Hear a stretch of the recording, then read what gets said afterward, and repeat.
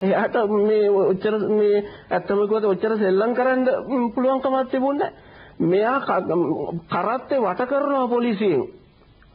ඒ කාලේ තිබුණේ මැලේ හමුදාව, මැලේ මේ ජා රෙජිමේන්තුව.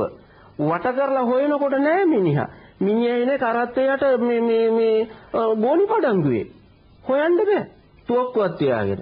මේව නිසා අద్භූතකම් වලින් නෙමෙයි සාමාන්‍ය පොදු ජනතාව අතරින් පහළ වුණු වීරයෙකුගේ ක්‍රියාකාරකම්. සරදියෙල් එක්ක කිසිම මේ ජාරෙජිමේන්තුවේ සොල්දාදුවෙකුට පුළුවන්කම තිබුණේ ඒ උතුහන් කන්දේ හරහා ගලා බසින මේ මේ මහ මේ ජලපාරේ ඒකේ ගලින් ගලට පැනලා එහා පැත්තට යන්න. සරදියෙල් මේ ගලේ ඉඳලා එහා පැත්තට පැනලා මේ මේ යන්නේ.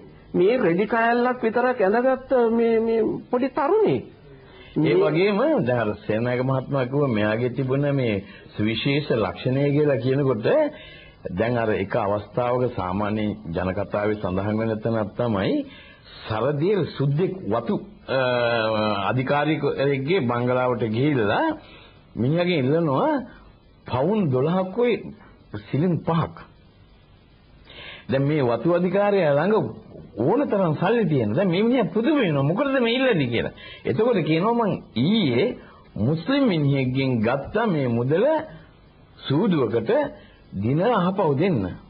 මං පෙරදුනා. දැන් මේ මිනිහා දුප්පත් මිනිහෙක්. උඹ ළඟ සල්ලි තියෙනවා. ඒ මිනිහාගේ දුක නිවන්නයි මට ඕනේ. ඒකනම් පවුන් 100ක් ගෙනත් දෙනකොට මට එපා මට ඕනි ඉල්ලපු ගාන විතරක් දෙන්න. දැන් මේ සුද්ධ බව පුදුම වෙනවා. දැන් මේ කතාව තුල හරි වැදගත් දෙයක් තියෙනවා. සේනායක මහත්මයා කිව්වා දැන් මේ ඔක්කොම හඳුන්වන්නේ සරදීර කියලා කියන්නේ පල් හොරෙක් මම්පාරෙන්නේ කිසිම විනීතකමක් නැති තාමත්ම අවිනීත මිනිහෙක් කියලා. දැන් රොබින් හුඩ් වීරයෙක් බවට පත් කරන ළමා මනසේ අර ඔබ කිව්ව විදිහටම මේ රූපවාහිනී මාධ්‍ය, චිත්‍රපටි මාධ්‍ය, පොඩි ළමා පොත් මාධ්‍ය මේ රොබින් හුඩ් කියන්නේ මහා පරමාදර්ශී චරිතයක් බවට ළමා මනසට කවනවා. හැබැයි ඒ අයම විසින්ම සරදීර කියන්නේ දේශීය ඒ නායකයා මේ තරම් අර කිව්වා වගේ ගමේ පන්සලේ පොතපත හොඳින් හදා හදාරපු පුජ්‍යලයට ඉතාමත්ම අපහාස වන ආකාරයට සලකන්නයි උගන්වන්නේ. මේකයි තියෙන වෙනස. අස්සකෝච්ච පොල්ගහ වෙලදී අස්සකෝච්චිය මංකොල්ල කනවා.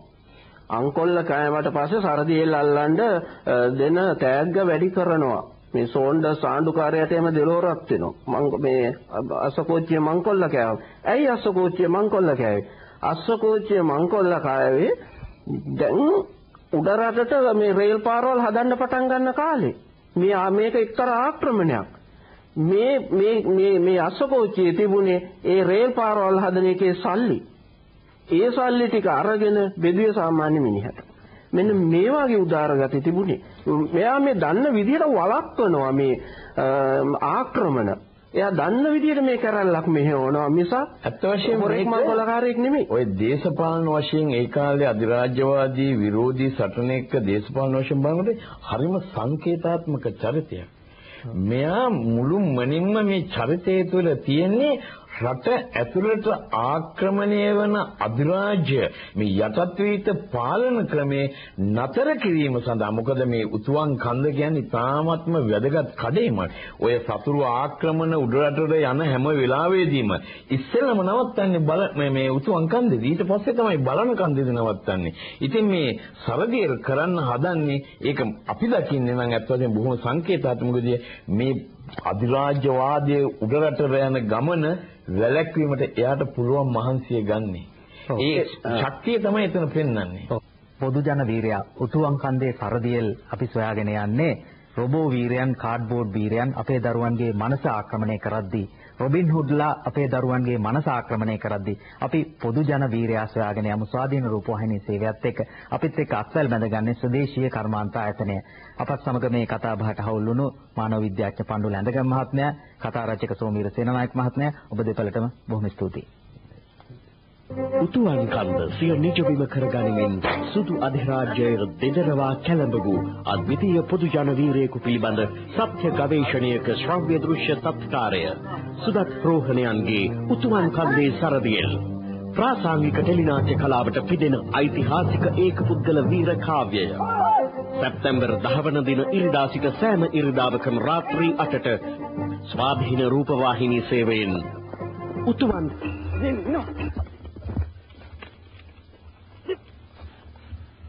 සරදියල් ඉන්නවා. අද කිව්වේ? සරදියල් ඉන්නවා. නෑ. සරදියල් ඉන්නවා. සරදියල් ඉන්නවා. සරදියල් ඉන්නවා.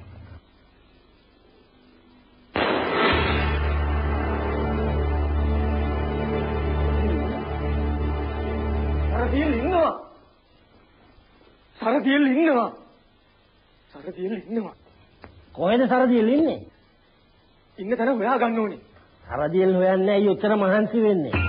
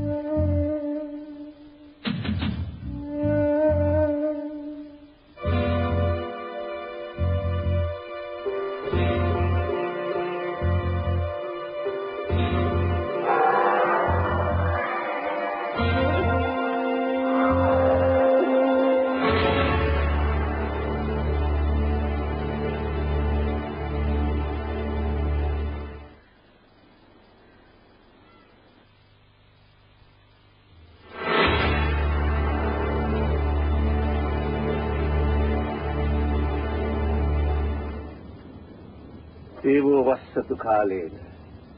සස්ස සම්පatti හේතුච පීතෝ භවතු ලෝකෝ ච රාජා භවතු ධම්මිකෝ. ජය. ජය අපිට.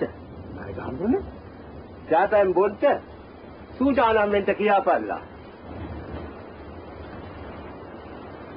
සම්බුල්ල පන්සලේ සංඝයා වහන්සේ ගංගාලිපොඩ බණ්ඩ උත්සවයට උතුරු පැලැන්දුවා ඒ කටයුතු වලට මුල්ුනේ අපේ කුඩාපොළ ලොකු හාමුදුරුවෝ. ලෝකයේ මිනිස්සු හැම විටම හැම තැනම හැම කාලවකවානුවකම වීරයන් වටා ක්‍රොක් වෙන්න වීරයන්ගේ චරිත අධ්‍යයනය කරන්න විශාල කැමැත්තක් විශාල ඕනෑකමක් දැක්වූ බව ලෝක ඉතිහාසය දිහා බලනකොට පේනවා. අසල්ලසි ඉන්දියාව ගත්තොත් ඒ ඉන්දියාවේ ලියවිච්ච රාමායනය මහා භාරතය වැනි විශාල පොත්පත් සොලෝක දහස් ගණන් වැය කරලා ලියලා තියෙන්නේ ඒ මහා භාරතයේ ජීවත් වූ විවිධාකාර වූ වීරයන් පිළිබඳ කතාවක්. ඔවුන් පිළිබඳ ඒ කතාවල් කියවීමෙන්, ඇසීමෙන්, නැරඹීමෙන් ඒ රටේ ජනතාව තුළ මහත් ආස්වාදයක්, මහත් ධෛර්යයක් ඇති වෙන බව ඒ මිනිස්සු විශ්වාස කළා විය හැකියි.